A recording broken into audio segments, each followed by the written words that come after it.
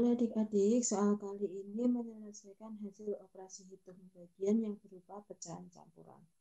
Diketahui operasi hitung pembagian 100 dibagi 3 ditanya pecahan campuran dari hasil pembagian tersebut. Jawaban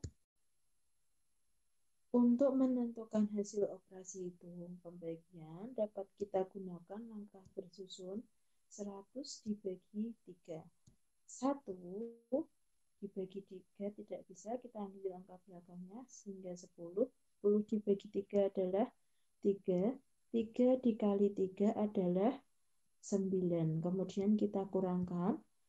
10 kurangi 9 adalah 1 nah 1 dibagi 3 tidak bisa kita ambil angka di belakangnya diturunkan sehingga diperoleh 0 1 dan 0 menjadi 10. 10 dibagi 3 yaitu 3. 3 dikali 3 hasilnya adalah 9. Kita kurangkan lagi. 10 dikurangi 9 hasilnya adalah 1. Nah, 1 ini adalah sisa. Sehingga 100 dibagi 9 ini hasilnya sama dengan 33 sisa 1 per 3.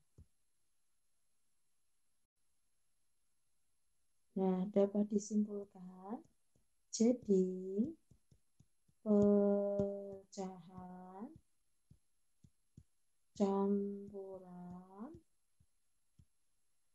dari hasil pembagian